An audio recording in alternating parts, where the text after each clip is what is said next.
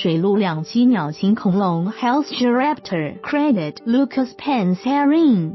它拥有鸭喙一样的嘴巴、鳄鱼一样的牙齿、天鹅脖子和尖利的爪子，还有像企鹅一样的鳍状肢。它像鸵鸟一样走路，也可以游泳。新近发现的一种新的恐龙物种，具有不同物种的特征，令科学家们瞠目结舌。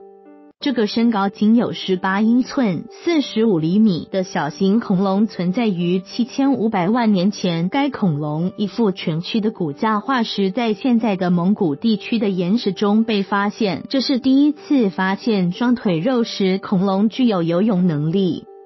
捷克 c a l i c 大学古生物研究员沃顿 （Dennis Vulton） 说：“这是一种奇特的动物，它具有不同物种的特征。”在科学杂志《自然》（Nature） 日前发表的一项研究中，沃顿和研究报告的合著者以波兰古生物学家 Helsia Ozmowska 之名将其命名为 Helsia h e l s c h a Raptor esculilia。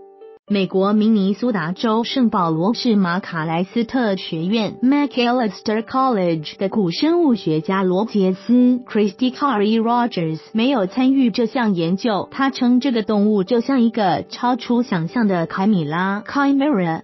希腊神话中狮头、羊身、蛇尾的怪物，它具有天鹅颈部和恐龙身体，一口细小的牙齿，而且四肢看起来可以游泳。研究报告的合作者塔福柔 （Paul t e f e r a 说：“它的结合多种物种特征的身体，让它能够在地面上跑来跑去，还能在淡水里捕鱼。”塔福柔是法国格勒诺伯欧洲同步辐射中心 （ESRF） 的一名古生物学家。ESRF 所研发的新型 X 光探测器对新发现的恐龙化石进行了大量测试。该研究的主要作者，意大利博洛尼亚卡佩利尼地质博物馆古生物学家高 Andre Cal 说，他最初对化石的真实性持怀疑态度，因为它的外观如此怪异，并且这具遗骸化石是从蒙古一个私人收藏家的手中被偷运出境的。高说：“我问自己，这是一个真正的自然的骨架，还是假冒品？如果这是假冒品，我怎要证明它？”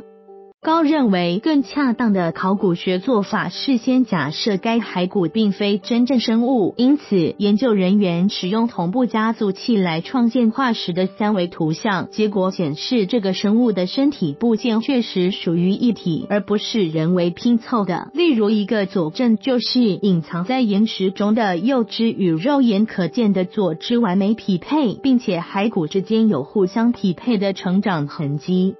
史密森尼学会的古生物学家汉斯·张耿华适度 （Ansius） 称赞这项研究，并表示研究再次表明恐龙具有多妖惊人的多样性。